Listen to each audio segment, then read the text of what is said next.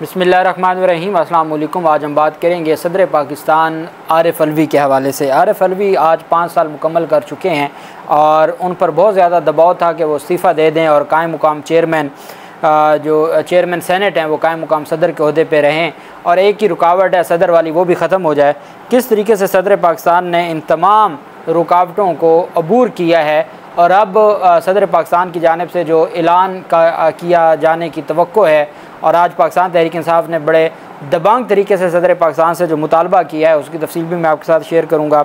साथ हम बात करेंगे सैनट का इजलास होना था सानिया जड़ा वाला पे और उसमें पाकिस्तान पीपल्स पार्टी के पाँच सैनेटर्स के साइन जो दस्तखत थे वो जाली निकले, जिसके ऊपर फड्डा शुरू हो गया और अब मामला बहुत आगे जा चुके हैं और ये एक दूसरे के आमने सामने आ गए हैं।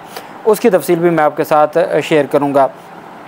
सबसे पहले तो मैं आपको बताता चलूँ कि जो मामला है पाकिस्तान तहरीक इंसाफ की जानब से बड़ा मुतालबा किया गया सदर पाकिस्तान से। एक बात मैं आपको बताता चलूँ कि इमरान ख़ान को जे आई टी जो लाहौर में मुख्तलिफ़ जे आई टीज़ थी तो 9 मई केसेस के हवाले से लाहौर में जो दहशत गर्दी के मुकदमात हैं, इमरान खान के ख़िलाफ़ सात मुकदमात जिसकी ज़मानत की दरख्वास्त लाहौर हाई कोर्ट में दायर की हुई है, लेकिन वहाँ पर आलिया नीलम साहब ने वो गैर मुना मुद्दत के लिए मुलतवी कर दी थी। तो ये जे आई टी बनी थी बेसिकली दर्जनों जे आई टीज़ हैं नौ मई के हवाले से। उसमें इमरान किश्वर, जो डी आई जी इन्वेस्टिगेशन है, उनकी सरबराही में पाँच रुकनी जे आई टी बनाई गई थी, इमरान खान के ख़िलाफ़, जिसमें इमरान खान शामिल तफ्तीश भी हुए थे। उसमें हमारे इदारों के भी नुमाइंदगान हैं। आई एस आई का एक नुमाइंदा है, एक एम आई का नुमाइंदा है, और इसी तरीके से तीन पुलिस अफसरान हैं। ये वो जे आई टी है जिसके सामने पाकिस्तान तहरीक इंसाफ के चेयरमैन इमरान खान पेश हो चुके हैं और जिसमें कहा गया था कि इमरान खान इशारे करते थे और इमरान खान ने बाकायदा तौर पर धमकी दी थी कि जब हमारी हुकूमत आएगी तो फिर हम आपको देख लेंगे। तो ये वो जे आई टी है। उन्होंने अब तफ्तीश मुकम्मल कर लिया जब तफ्तीश मुकम्मल हो जाए तो उसका मतलब है बहुत बड़ा आ, काम हो जाता है। तफ्तीश मुकम्मल होने के बाद उन्होंने रिपोर्ट सबमिट करवा दी है और इमरान खान को गुनहगार करार दिया गया है उस तफ्तीश में। नौ मई का ज़िम्मेदार करार दिया गया है पाकिस्तान तहरीक इंसाफ के चेयरमैन को, जबकि तफ्तीश के दौरान पी टी आई के रहनुमा असद उमर शाह महमूद कुरैशी और इमरान खान की बहनों समेत दीगर रहनुमाओं को भी गुनाहगार करार दिया गया है। इमरान खान के कहने पर जना हाउस पर हमला हुआ। इमरान खान ने तफ्तीश में हमला कराने का एतराफ़ भी किया और जे आई टी ने इमरान खान को अब जो इतराफ़ जे आई टी के सामने या तफ्तीश के सामने होता है नो कन्फेशन उसकी कोई हैसियत नहीं होती एक्स्ट्रा जुडिशल कन्फेशन की कोई हैसियत नहीं होती। बहरहाल, उन्होंने कहा जी कि इतराफ़ भी किया है, और Imran Khan J I T ने इमरान खान को तीन बार शामिल तफ्तीश किया था। जे आई टी की टीम अटक जेल में भी इमरान खान का बयान रिकॉर्ड करने गई थी, और नौ मई केस में जल्द इमरान खान की गिरफ्तारियाँ भी डाली जाएँगी। और ज़रा का कहना है कि अस्करी टावर में जलाओ गिराव की तफ्तीश ताल जारी है। जना हाउस और अस्करी टावर जलाओ गिराव में तफ्तीश करने के लिए हुकूमत ने अलहदा दो जे आई टीज़ बनाई थी। अब मैं आपको बता दूँ कि मोस्टली केसेस में, चूँकि ये police F I R case, police case होता है, जिसको स्टेट केस भी कहा जाता है, और उसमें हमेशा मुदई सरकार होती है। उसमें जो पुलिस तफ्तीश करती है, पुलिस सौ केसेस में पचानवे फ़ीसद ये रिपोर्ट जमा करवाती है कि मुलजिम गुनाहगार है। अब पुलिस की तफ्तीश को बाइंडिंग नहीं होती, अदालतों पर कोई बाइंडिंग नहीं होती, और उसकी हैसियत सिर्फ़ एक पीस ऑफ़ एविडेंस तो होती है, लेकिन अदालत ने उसके ऊपर सिर्फ़ उसी के ऊपर रिलाय नहीं करती, पहली बात।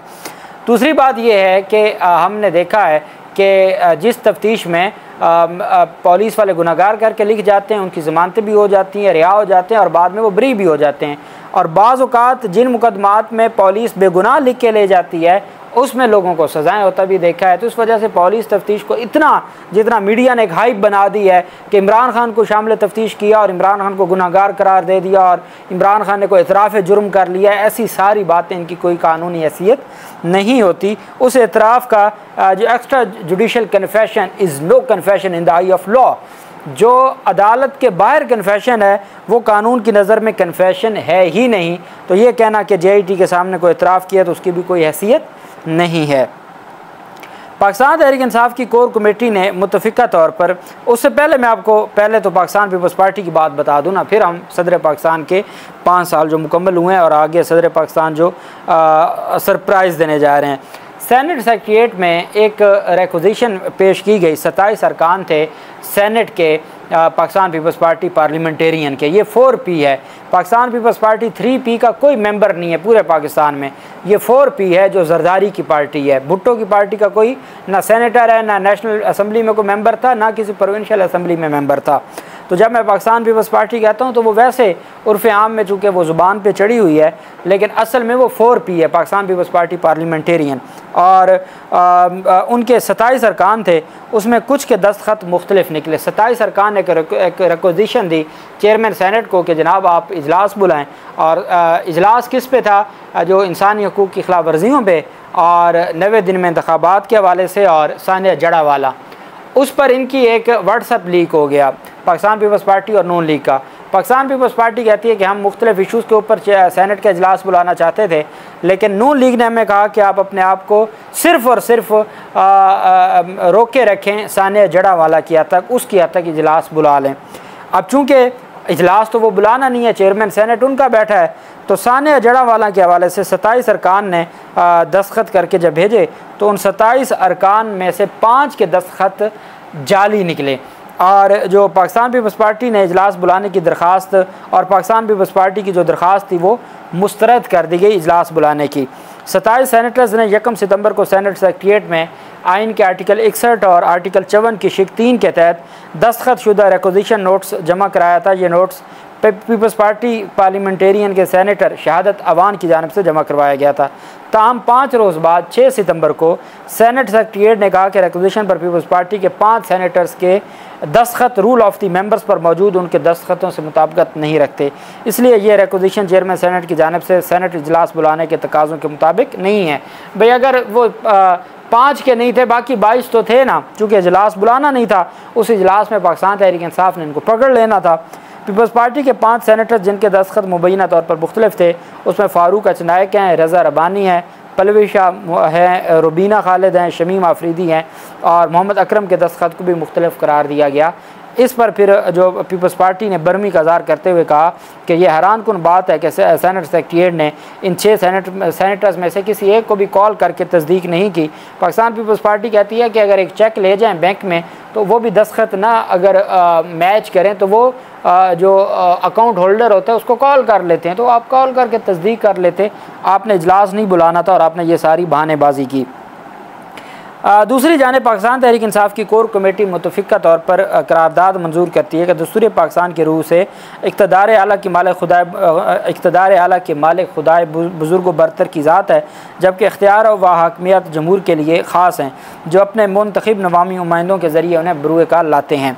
पाकिस्तान अपनी तारीख के तारीख के नाजुक तरीन दौर से गुजरा है, जिसमें उसे आइनी सियासी जमहूरी इंतजामी माशी और समाजी सतह पर नहायत पेचीदा मसाइल और बहरानों का सामना है। अप्रैल दो हज़ार बाईस में रजीम रजीम चेंज साजिश के ज़रिए गैर जमहूरी और गैर आइनी अकदाम के ने रियाती ढांचे और नज़म नज़म हुकूमत में ऐसे फसाद और इंतशार को जन्म दिया जिसने कौमी सलामती, यकजहती, मिली यकजहती, कौमी तमीर और तरक्की और बुनियादी हकूक़ और उनकी ज़िंदगी में नाकबिल तस्वर हिजान और इसराब पैदा किया है। पंजाब और खबर पतूनखा की असम्बलियों की बिल तरतीब चौदह और अठारह जनवरी दो हज़ार तेईस की तहलील और पी डी एम हुकूमत की जानब से दस्तूर के आर्टिकल दो सौ चौबीस दो की मंशा के मुताबिक नवे रोज़ में इंतबात करवाना ये आइन की मंशा है, लेकिन उससे गुरेज किया जा रहा है और बाद अजा सुप्रीम कोर्ट के चार अप्रैल दो हज़ार तेईस के फैसले से यकसर इनहराफ ने एक जानब आइन शिकनी का दरवाज़ा खोला तो दूसरी जानब कौम में गहरी तशवीश को जन्म दिया है। पाकिस्तान को दरपेश के सीरुलजैत बहरानों के मौसर हल के लिए जमहूर की मंशा की हामिल हुकूमत का क्याम लाजमी और आइनी तकाजा और वक्त की ज़रूरत है। दस्तूर का आर्टिकल अड़तालीस सब आर्टिकल पाँच कौमी असम्बली की कबल वक्त तहलील की सूरत में सदर ममलकत को इंतबात के इनका के लिए नवे रोज़ की मुद्दत के अंदर किसी तारीख के तयन का पाबंद बनाता है। चुनाचा सदर ममलकत से अल्तमास है कि वह अपना दस्तूरी फरीज़ा निभाएँ और आइन की बालादस्ती जो कि उनके मनसब का कलीदी ज़िम्मे ज़िम्मा है। यकीनी बनाते हुए बिला तखिर मुल्क में आम इंतबात की तारीख का ऐलान करें, वरना वो आइन की बेहरमती और आवाम के बुनियादी, दस्तूरी, जमहूरी हकूक़ की पामाली के ज़िम्मेदार होंगे। ये पाकिस्तान तहरीक इंसाफ की जानब से कोर कमेटी ने अलामिया जारी किया है। सदर पाकिस्तान आज 8 सितंबर को आ, उनके आज रात 12 बजे तक उनका मुकम्मल हो चुका है। अब 9 सितंबर शुरू हो चुका है तो सदर पाकिस्तान अपने पाँच साल मुकम्मल कर चुके हैं। ये मुल्क के चौथे सदर हैं जिन्होंने पाँच साल मुकम्मल किए हैं। अब सदर ममलकत पर बहुत ज़्यादा दबाव था कि अब आप इस्तीफ़ा दे दें। और सदर ममलकत को ये कहा जा रहा था कि आप इस्तीफ़ा देंगे तो उसके बाद जो चेयरमैन सेनेट हैं, वो कायम मुकाम सदर बन जाएँगे। हमारी मर्ज़ी होगी, हम छः महीने चलाएँगे निगरान सेटअप को और उसमें यही कायम मुकाम चेयरमैन जो है वो चूँकि आइन ये कहता है मैंने देखा कि कुछ लोग कह रहे थे कि अगर निगरान हुकूमतें आगे नहीं चल सकती तो सदर पाकिस्तान क्यों चल गए? या सदर पाकिस्तान को अपना अहदा क्यों रखना चाहिए? तो उन अक्ल के अंधों को नहीं पता कि निगरान हुकूमतों के लिए कहीं नहीं लिखा हुआ पूरे आइन में कि नवे दिन के बाद भी वो चल सकती हैं। सदर पाकिस्तान के लिए है कि जब तक नई पार्लियामेंट नहीं आ जाती और नया सदर इलेक्ट नहीं हो जाता, तब तक सदर पाकिस्तान अपने अहदे पर रहेंगे। ये आइन ने कहा है। उनकी आइनी ज़िम्मेदारी है अपने अहदे पर बरकरार रहना और अपने अहदे पर रहना।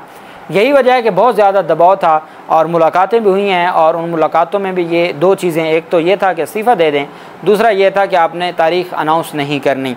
अब उस पर इस्तीफ़ा तो नहीं दिया सदर पाकिस्तान ने और सदर पाकिस्तान जब तक ये गैर आइनी सेटअप चलाने का इरादा है, निगरान हुकूमत के ज़रिए सदर पाकिस्तान बैठेंगे।